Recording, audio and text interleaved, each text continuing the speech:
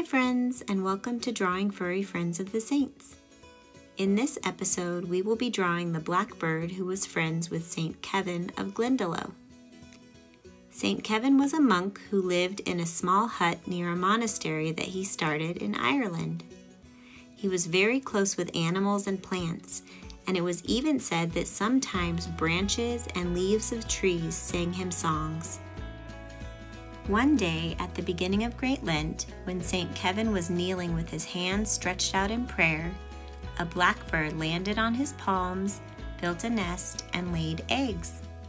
Because St. Kevin loved the bird and didn't want to disturb the eggs, he stayed very still until the eggs hatched and the baby birds were able to leave the nest. During this time, the blackbird brought St. Kevin nuts and berries to eat. At the end of Lent, the last of the baby birds left the nest and he returned to the monastery to celebrate Pascha. Now, before we begin our drawing, you will need a piece of paper, a pencil, a black or dark colored marker, and whatever else you would like to color and finish your drawing. If at any point in the video you need to catch up, don't be afraid to pause and then start again when you are ready. Let's begin drawing the nest that the blackbird built in St. Kevin's hand. Beginning on the left side of your paper, draw a big U shape for the bottom of the nest. Add a line slightly curving up across the top. Now, to make the opening of the nest, move a little ways in from the left side of the nest and draw a curved line across, stopping a little before you get to the other side. Now let's add the mama blackbird sitting on her eggs. Starting a little to the right of the middle of your nest, draw a diagonal line up to the right and then curve it around and down to meet the inside edge of the nest. This will be the bird's head. Going back to where you started that line, let's move a little up and then draw a straight line across and curve down. Stop before you reach the edge of the nest to leave room for her wing. Moving back to the line you drew for the head, leave a little space and then draw another straight line across. This time go past your other line and then curve it down to touch the edge of the nest. This will be the bird's wing. Next, let's add her tail feathers.